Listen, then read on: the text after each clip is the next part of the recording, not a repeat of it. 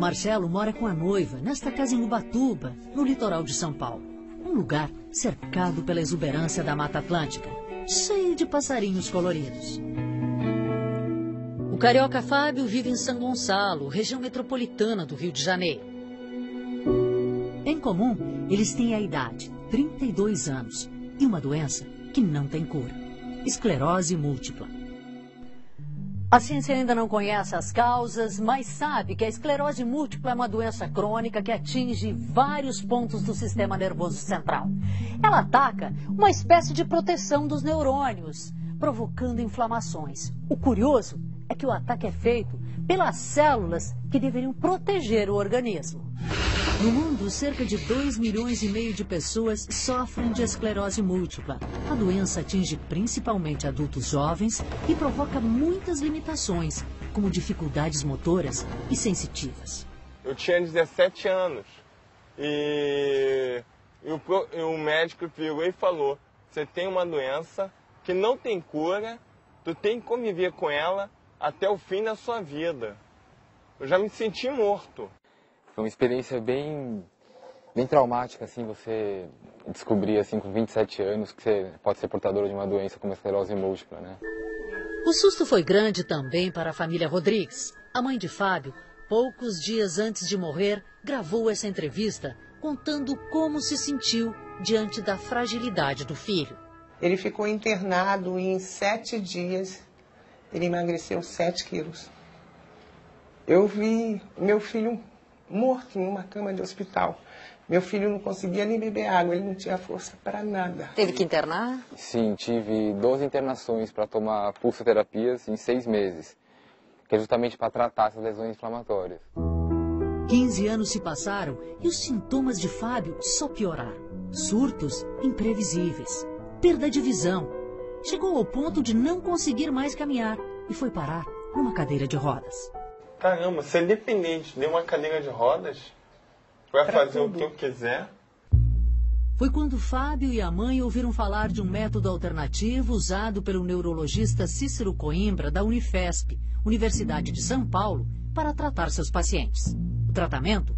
Superdoses de vitamina D, que, segundo os médicos, é, na verdade, um hormônio. A vitamina D ela é muito mais do que uma vitamina, muito mais do que um hormônio ela uh, controla 10% das funções das nossas células e de todas as nossas células, inclusive das células do sistema imunológico. Segundo o Dr. Cícero, um ferrenho defensor da vitamina D, já há quase 5 mil publicações no mundo somente sobre os benefícios da vitamina D no tratamento da esclerose múltipla. Mas ele foi o primeiro e hoje é um dos poucos médicos a tratar a doença exclusivamente com ela.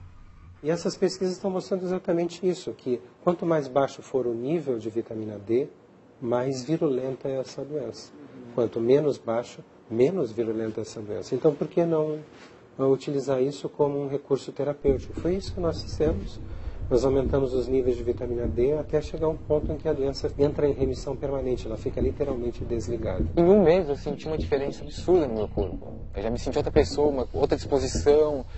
É, é, não dá para explicar assim a, mais forte. a melhora, mais forte. Eu voltei a ganhar meu corpo, voltei a, a, a me sentir vivo, sabe? Uma coisa que não tem como explicar, assim, rápido. Foi voltando a conseguir falar com mais clareza. Ele foi conseguindo já se firmar em pé com mais firmeza, né? Com mais precisão. Começou a caminhar com a muleta.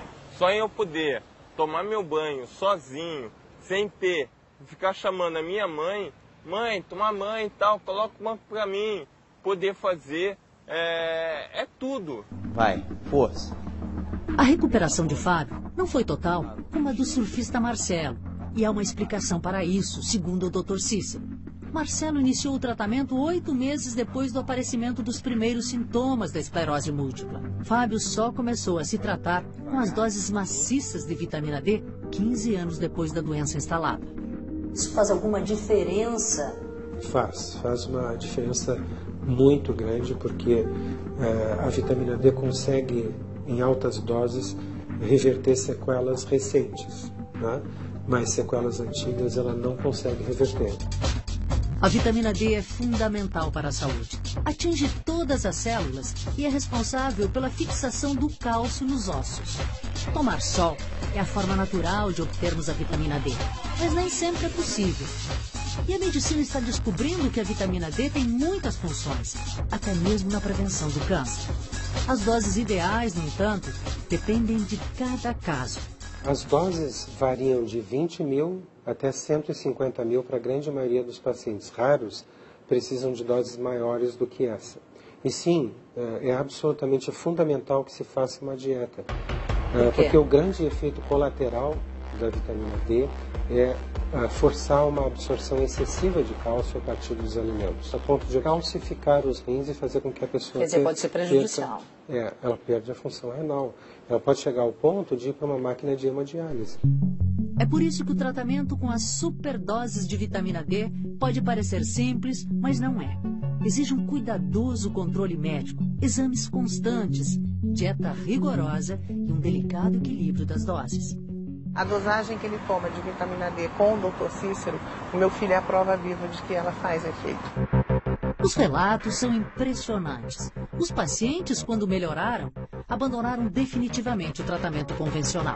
Remédios que provocam efeitos colaterais devastadores.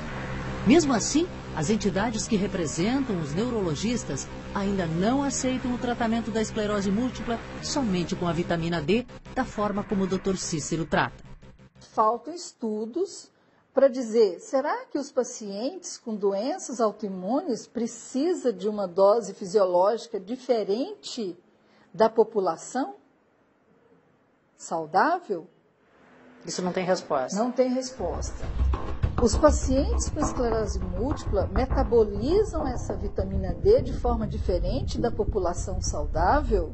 O que, que seria necessário para a academia aceitar o uso de altas doses de vitamina D no tratamento da esclerose múltipla? Que essas altas doses fossem aplicadas em estudos bem padronizados cientificamente, que significa randomizado, duplo cego.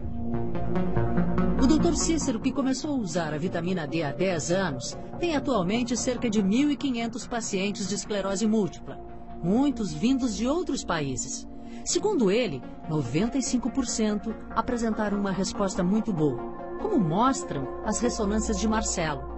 As lesões no cérebro e na medula são muito claras, antes e depois da vitamina D.